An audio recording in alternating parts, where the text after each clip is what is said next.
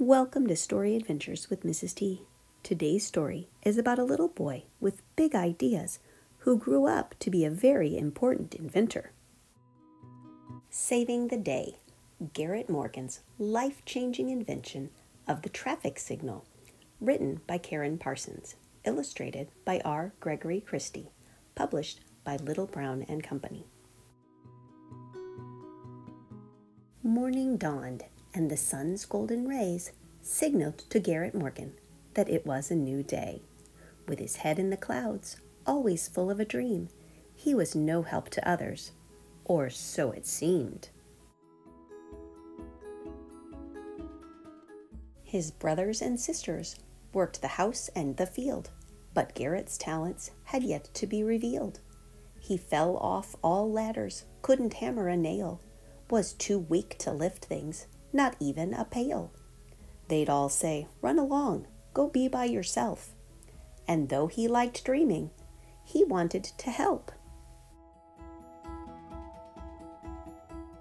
He'd spend time alone, long walks he would take, his mind imagining new creations to make.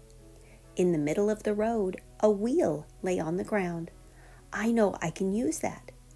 So Garrett bent down, but sometimes his dreaming got him into trouble.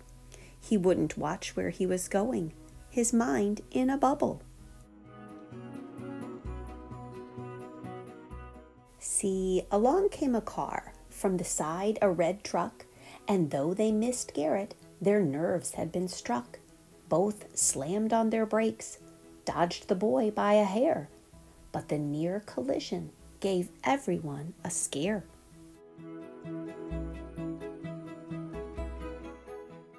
Back at home, his mom said, You wait here for your dad. He just knew he was in trouble, that his parents were mad. His father walked in, looked at Garrett a beat, then called him over. Come here, son, have a seat.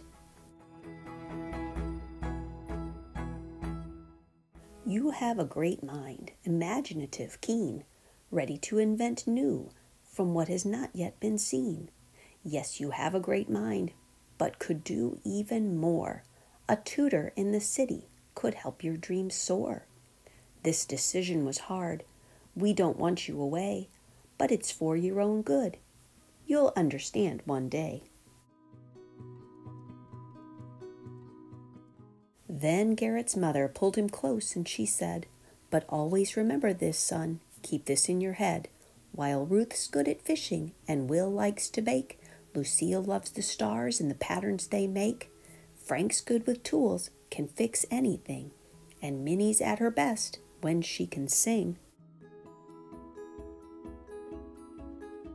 You too, son, have something that's all yours alone, something to contribute that's just not yet known. All are given a gift, something you cannot learn. It's what you do with that gift that's your gift in return. The city was loud, people everywhere, and cars and horses and bicycles were there, all on the same roads, all at the same time. Horns honking, cars crashing, no reason or rhyme. Garrett studied hard, and when his lessons were done, he found a job doing something he found fun.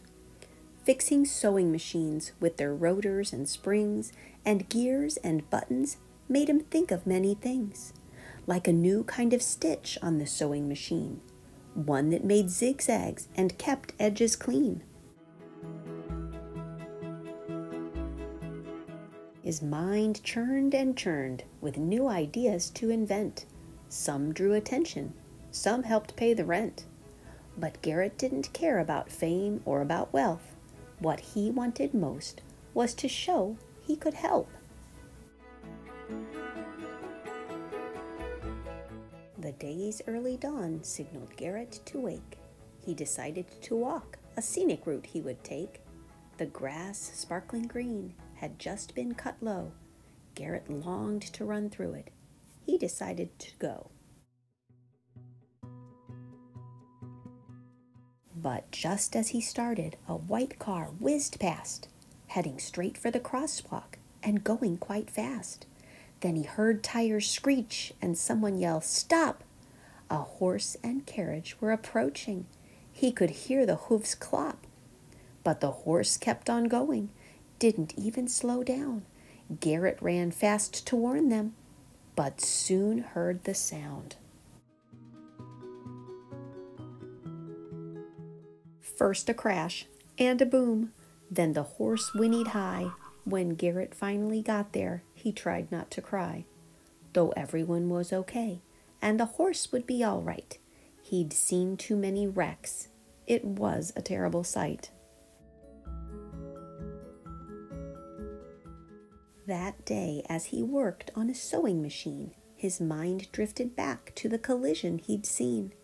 There has to be some way to let drivers know that someone else is approaching, when to stop and to go, and a signal before stopping so first they could slow down.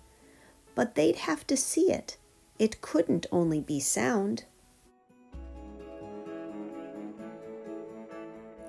But as Garrett wandered home, ideas in his head flowing, he forgot to pay attention to just where he was going. He stepped off a curb. The bike signaled, no doubt. He saw a bright light, and then he went out. His mind was filled with colorful light. On and then off. What a beautiful sight! The green grass of a field illuminated by sun shone bright and invited Garrett to run. Golden light through the window eased in the morning. A new day was beginning, it was a subtle warning.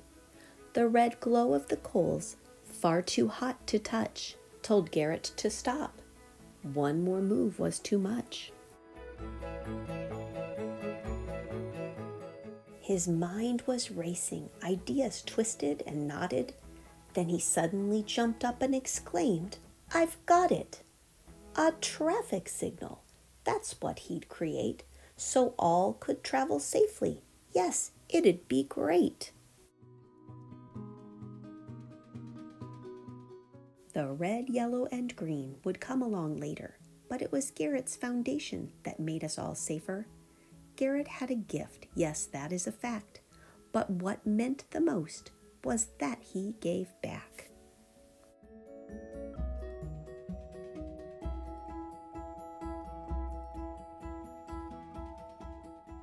The end. Thanks for listening.